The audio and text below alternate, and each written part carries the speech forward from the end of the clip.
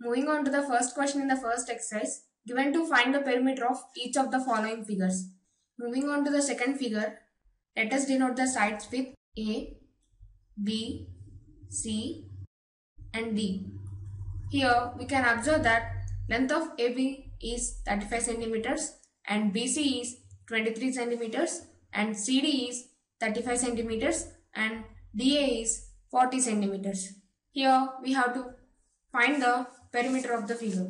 We know that perimeter is the distance covered along the boundary forming a closed figure when you go round the figure once.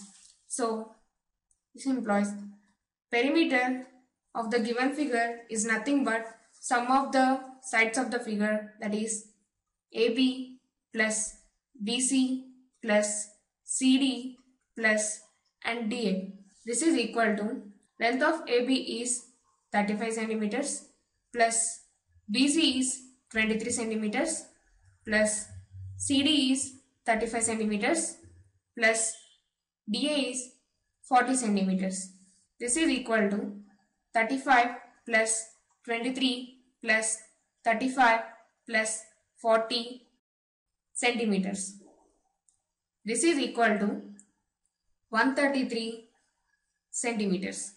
Therefore, perimeter of the given figure is equal to 133 centimeters.